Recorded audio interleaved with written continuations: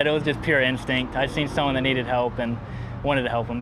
Nick Cox spends most of his week at his job, Queen City Harley Davidson in Fairfield. He's obsessed with the adrenaline a fast ride or run gives him. So he didn't hesitate to jump into action Thursday on his way to work. Driving through Middletown, he saw a red SUV going the wrong direction. Ed And I seen some lady to the left of me. She was screaming that there's a kid driving the car.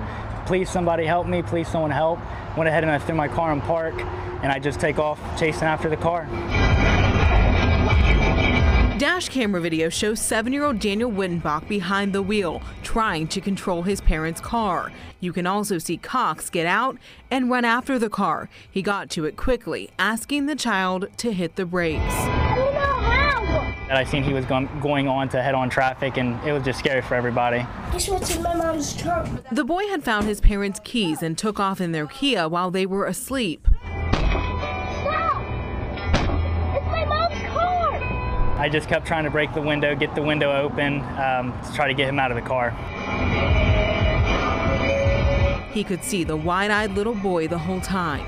Yes, he looked very scared, very scared and confused. Um, he almost like he didn't know what was going on. What? He can't. Help! You're okay. You're okay. You okay, baby?